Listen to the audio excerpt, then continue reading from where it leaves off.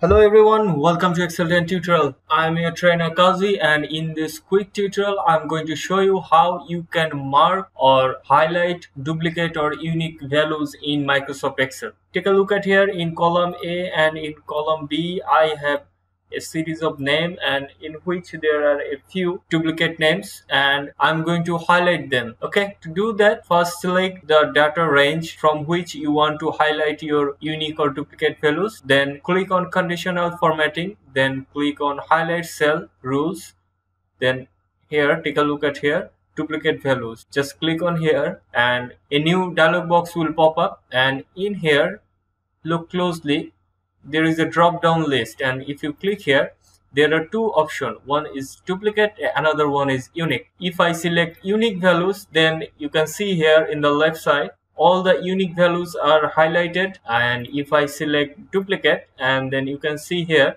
all the duplicate values are highlighted and if I click OK and take a look at here all the duplicate values have been highlighted within just a few clicks. Thank you. Thanks for watching. Don't forget to subscribe.